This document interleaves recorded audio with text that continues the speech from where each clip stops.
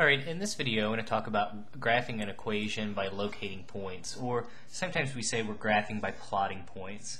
So suppose to get started we're going to create a table of values that satisfies the equation 2x squared plus x minus 1. And just to create a table of values, um, sometimes people will call this a little, sometimes they'll call it a t-chart, um, but the idea is I'm going to pick different values for x I'm going to plug those in um, and do the arithmetic, and then I'll get corresponding values for y.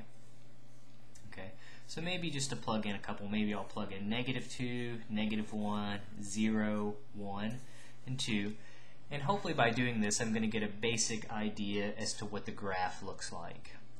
Okay, so if we plug in x equals negative 2, we'll get simply that y equals, okay, 2 times negative 2 squared plus negative 2 minus 1. Well, negative 2 times negative 2 is 4. 4 times 2 is 8. Negative 2 minus 1 is negative, uh, could give us a negative 3. So I'm getting the value 5 out. So it says if you plug negative 2 in, we get 5 out. Let's see, let's plug in negative 1. So again, everywhere there's an x, I'm just going to plug in negative 1. 2 times negative 1 squared plus negative 1 minus 1. Well, negative 1 times negative 1 is positive 1. Uh, positive 1 times 2 is 2. Uh, then we'll get a negative 1 minus 1, which is negative 2. So it looks like when we plug negative 1 in, we get 0 out. Okay, plugging 0 in will be easy. We'll get the first term will turn into 0. The second term will also turn into a 0 and we'll just be left with y equals negative 1. Maybe let's, uh, let's do these other two here real quick. So let's see, if we plug in x equals positive 1, we'll simply get that y equals, okay, so we'll plug in 1 plus 1 minus 1. 1 squared is 1, so 1 times 2 is 2 plus 1 is 3, minus 1, again, is going to give us a 2. Last but not least, if we plug in um, x equals 2,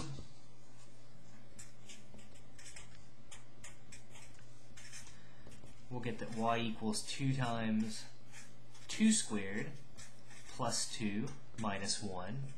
Well, 2 squared is 4 times 2 is 8. 8 plus 2 is 10. And then uh, 10 minus 1 is going to leave us with a 9.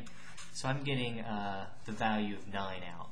And again, you could keep doing this uh, for as many points as you wanted. So kind of the uh, good thing about it is, you know, you're just, it's usually just a matter of doing a little bit of arithmetic. One of the disadvantages, though, is kind of knowing when you've sort of, you know, how, how do you know when you've used enough points to sort of get all of the relevant information? And that's sort of a question that we'll, you know, address uh, in some other videos. Okay, so the point uh, negative 2 comma 5, so if I plot this point, again, what this says is it just means negative 2 comma 5 is a point on the graph. So that means I go over 2 units and up 5 units. So we would put a dot right there. Again, kind of sketching this here by hand here, so hopefully it won't be too bad. It says if we plug negative 1 in, we get 0 out, so that means the point negative 1, 0 is on the graph. So negative 1, 0 would be on the x-axis, one unit to the left. It says we get 0, negative 1 out, so that'll be another point on the graph. And then it says when you plug 1 in, we get 2 out, and then when it says you plug 2 in, you get positive 9 out, so we'll be a bit further up. Okay, so again, we've got these points. Now the problem is, okay, so to me it looks like the graph's going down and it's coming back up. You know, what exactly does 2x squared plus x minus 1 look like? I mean, does it does it go down and is that the lowest point and then does it go back up? Um, so the exact graph we're still not quite positive about, but this is the idea. We can always just find values by simply plotting points. So it actually turns out that 2x squared plus x minus 1 looks like what's called a parabola. It will have a, uh, uh, you know, it kind of dips down and goes back up. But I think, I'm not, well, I know for sure, um, it actually turns out that this point um, down here at, at, at 0, negative 1, that's actually not going to be the smallest value it hits. But when you start talking about graphing quadratic equations or graphing parabolas, you'll see how to do that. But for now, again, just the basic idea, you can plot points to get the shapes of graphs.